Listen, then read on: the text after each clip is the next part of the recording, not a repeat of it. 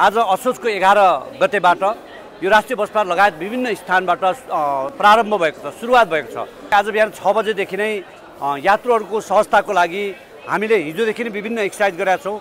चौधवटा रास राष्ट्रिय उपत्यकामा चौधवटा चाहिँ यात्रु सहायता कक्षहरू पनि राखेका छन् र हाम्रा कर्मचारीहरू जो टिकट काउ काउन्टरमा बस्ने कर्मचारीहरूले ड्रेस लगाएका छन् र परिचय पत्र लगाएका छन्। अनिवार्य त्यो हामीले उर्दी जारी गरेको पनि छ।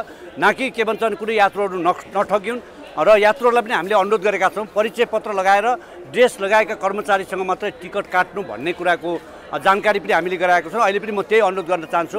अस्तिको दिनमा त यातायात व्यवस्था विभागमा हामीले यही असोजको बिस गतेदेखि नेपालभरिका सबै सवारी साधनलाई मेची महाकाली गुड्नको लागि पर्मिट हामीले खुल्ला गरेका छौँ।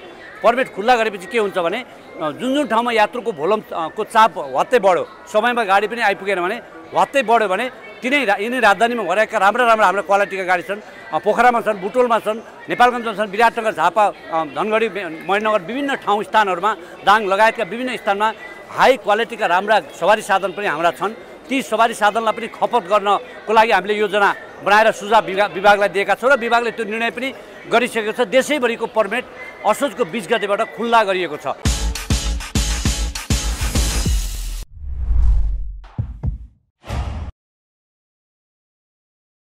अहिले चाहिँ प्रविधि मैत्री मैत्री र डिजिटल सिस्टमबाट टिकटको व्यवस्थापन गरेको छौँ।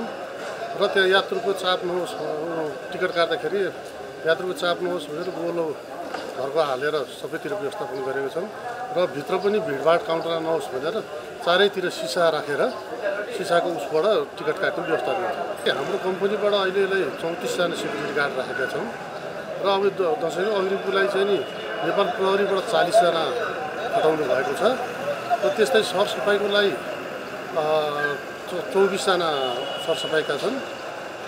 पहिलाको हेरेर धेरै राम्रो गरेका छौँ हामी सर्वप्रथम त गाडी भ्याली बाहिरबाट आउँदाखेरि हाम्रो दुई नम्बर गेटमा त्यही सरसफाइ गर्छौँ पहिला। सरसफाइ गरेर फोहोर जम्मै त्यहाँ निकाल्छौँ र पार्किङमा जान्छौँ। पार्किङमा गएपछि धुलाइको त्यहाँ व्यवस्था छ सर सर्भिसिङको।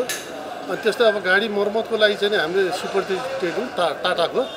टाटाको इन्जिनियर सहितको टोली चाहिँ भित्र सर्भिसिङ सेन्टरै छ उहाँहरूको। त्यसको लागि टायर हावा सबैको व्यवस्था पनि छ र आउनु।